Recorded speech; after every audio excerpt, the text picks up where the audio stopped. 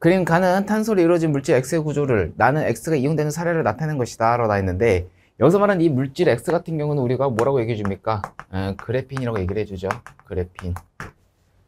자, X에 대한 옳은 설명만을 보기 위해서 있는 대로 고르시오 나와 있는데 지금 휘어지는이니까 어, 신축성이 굉장히 어때요? 크다고 볼 수가 있는 거고 어, 디스플레이 소재라고 보게 된 거를 어, 디스플레이 소재를 쓰는 걸로 봐가지고 빛 투과성이 어때요? 좋기도 하면서 전기 전도성이 어때요? 크다라는 걸 우리가 볼 수가 있고 어, 또한 강도도 강합니다. 기역 번 그래핀이다 맞는 말이 되겠고 전기 전도성 있죠. 그 다음에 빛을 투과시키죠. 그죠? 음. 근데 신축성 이거 왜 나왔지? 어, 정답은 5번입니다.